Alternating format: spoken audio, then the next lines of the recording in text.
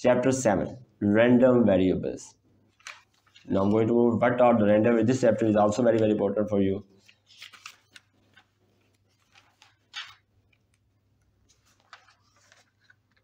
Now at page number 234 the example number 7.3 is very very important for exams.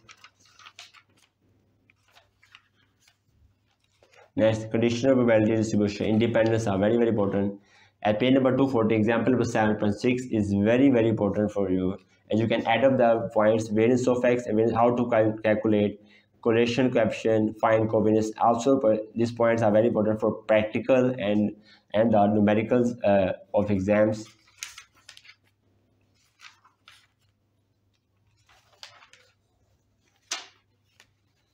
Now at the page 249 example 7.11 is very important for its, its b part is very very important for exams. Must remember that.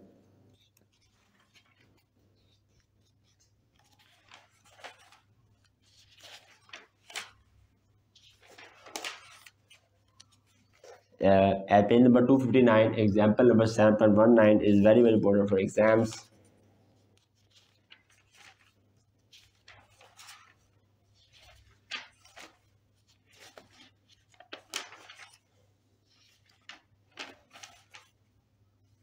uh, at page number 271 the question for the mgf to uh, this formula this statement is very very important for you. For mgf mgf topic is very very important for you. This is the proof of mgf must remember this proof.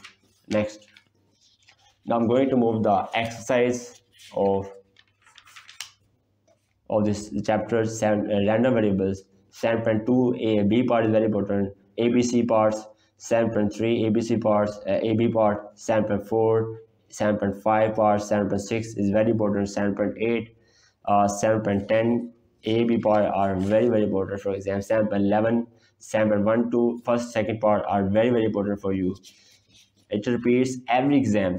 At each time it repeats the questions. Must remember these questions are very very important for you. Must practice these questions. 7.19 ABC 7.20, 7.21. And next, its B part is very, very important for use. To add page number 280, B part is very, very important. And next, uh, 7.23 uh, is very, very important. ABC part, 7.24, ABC part, 7.25. Uh, next, 7.26, B part is very, very important.